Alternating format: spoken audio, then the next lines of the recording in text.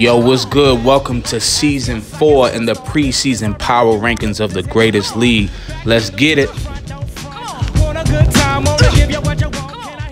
Coming in at number 32 are the Las Vegas Raiders, coached by Coach Dix.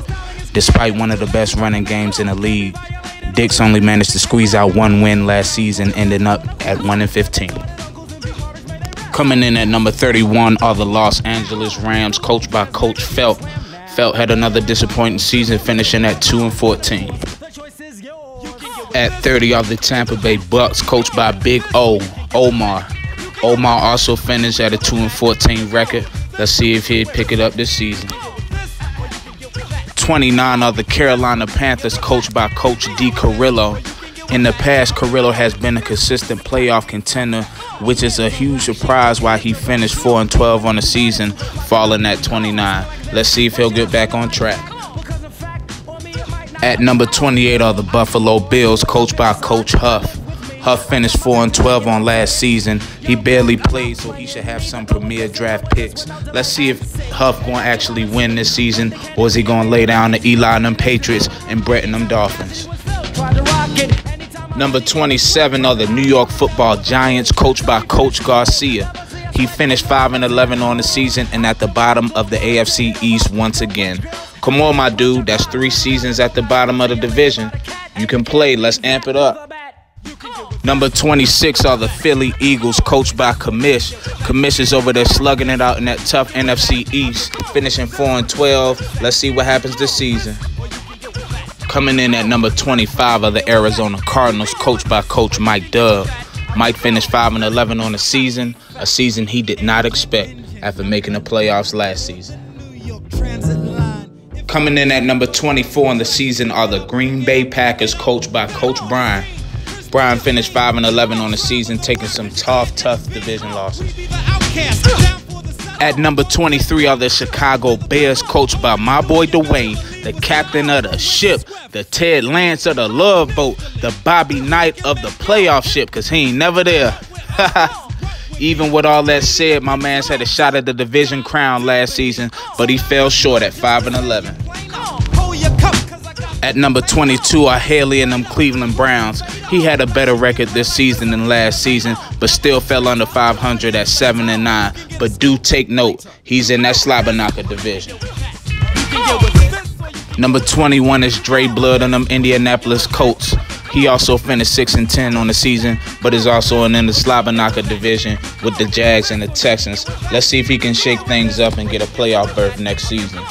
What you talking about? What you talking about? What you what you what you talking about, Willis? Number 20 are the Denver Broncos, coached by my boy Gary Coleman. my man's came in at 6 and 10, finishing off the season, not having the season he wanted after reaching the AFC title game the season before. At number 19 are the Seattle Seahawks, coached by Coach Chevy. Chevy finished 7 and 9 on the season, missing the playoffs by a hair by losing his last two games in a close fashion. At number 18 are the Tennessee Titans, coached by my boy 300. My boy 300 finished the season on 7 and 9 after a four game suspension handed out by Commish. I'm looking for him to come back strong and crack that top 10. Coming in at number 17 are the Dallas Cowboys, coached by Coach Touche. Two finished 8 and 8 on the season in that tough NFC East.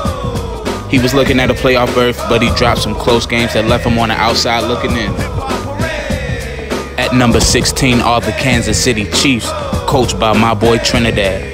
Trinidad had the division lead of the AFC West at some point this season, but lost it to the Chargers, finishing at 8 and 8 and missing a postseason berth. At 15 are the New Orleans Saints, coached by Coach Mixon. Mixon had a chance to get in the playoffs this past season, but fell short to his division rival, the Atlanta Falcons. But still, he finished above 500 at 9 and 7. At number 14 are the Cincinnati Bengals, coached by Coach Jerv. Listen, Jerv should be in the playoffs, but that AFC is very stacked, and he just dropped one too many games to make the cut. But best believe my boy coming back next season looking to knock heads.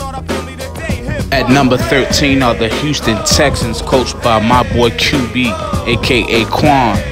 Shaquan was on the verge of being the number two seed in the AFC playoff and having the first round bye, but he was stunned by Brett and the Miami Dolphins. My man's looking to come back with a vengeance this year. At number 12 are the LA Chargers, coached by Big Mike Watson. Mike won the AFC West last season, finishing with a record of 9 and 7. He almost had a first round wild card victory, but he wasn't enough for the mighty Pittsburgh Steelers. Mike got a tall task ahead of him. The Broncos and the Chiefs are coming back with a vengeance to try to reclaim the title this season, but Mike said he is not done and is beware them Chargers. At number 11 are the Detroit Lions, coached by my boy Stephen Vasquez. Look, Steve a two-time champ of the league. He know how to win in big moments. He a top 10 user. But my man's, I don't know what happened this season, man. He just ain't show up. And to have a three-point performance in the playoff was definitely unlike him. But even still, man, he had key players injured. Watch out. That boy coming back with a vengeance, babe. We now in the top 10 of the preseason power rankings. Number 10 are the Miami Dolphins, coached by your boy, Show Nuff, Big Brett. Man, Brett did a job this season, man. Coming back in, he ain't loaded with a lot of talent like the rest of us, but he still managed to rip off 11 wins and make a wild card berth. Man, he almost knocked off the AFC South champion, man, but he fell short just by a couple plays, man. Look out, man. That guy's coming back for the division this season. Number nine of the New York Giants, coached by Big John Ramirez. Look, John, that man, that man had a heck of a season. Went 14 and two, tied with the Redskins for the NFC East division. Just the Redskins won the division. He got sent to the wild card. But boy, oh my, when he got to that playoff, did he get whooped bad by them 49ers. Come on, man. You can't be killing all season, get to the playoff, choke up like that. Now didn't score a touchdown. Mike got to open up the pass, man. But even still, man, good season. And I know you coming back. Number eight are the San Francisco 49ers, coached by Vic, aka 915. Look, 915, NFC West champs, 9 to 7. Then went into the playoffs and obliterated the Giants, who was the number two seed, number one seed in the NFC all year. Number seven seed are the Atlanta Falcons, aka my boy Addison. Addison NFC South champions 11 to 5. He did what he had to do. Came in the wild card, dominated the Lions, made it all the way to the NFC Championship, but he fell to the Mighty Skins. Number six are the New England Patriots, coached by Eli. Listen, Eli, you did your thing, babe. You finished number two in the whole AFC, 12 and 4, won the AFC East. Brett was on your heels, but you managed to escape. But man, you did not show up in them playoffs. That's what it's all about. You got to show up in them playoffs, man. Number five are the Minnesota Vikings, coached by Vlad. Look, I was a little conflicted about this pick. I know Falcons, I know you beat the Vikings, but you know that game could have went either way. I just feel the Vikings got a little more firepower coming into the season than the Falcons. But hey, all the talking is done on the field. We shall see soon. Number four, number four are the Pittsburgh Steeltown Steelers. Look, I'm a Ravens fan in real life. I would never say anything positive about the Steelers. But the game is about the only time I have to be non-biased. Uh, your boy Demetrio, if we wasn't in the same division, or if he would have beat me, I would have picked him to win the Super Bowl. The boy is a straight up dangerous user, man. I don't think he get enough credit. Um, but y'all gonna see. Y'all gonna see soon. So watch out. At number three are the Jacksonville Jaguars, coached by your boy Big Jeet, the five-time champ. Look, Jeet won the AFC South when the Texans lost to the Dolphins. Your man made it clear that he was the five-time champ and he needed to add to that trophy collection. He made it to the AFC chip. He got the matchup he wanted with them Ravens. He even led the game at one point in time. But that Raven train was too much as the Jags fell short. Number two of the league are the Washington Redskins, coached by Coach Mont. Look, Mont had a heck of a season, 14 and 2. NFC East champs, man. You did your thing, man. You won the it was necessary. Even for some key turnovers in the Super Bowl game, man. Uh, know we end up losing, but man, he he balled out, man. I'm looking forward to see him again.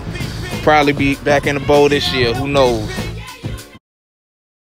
At number one. That's right. Talk to him, Ray. At number one are the Baltimore Ravens, coached by your boy Bap.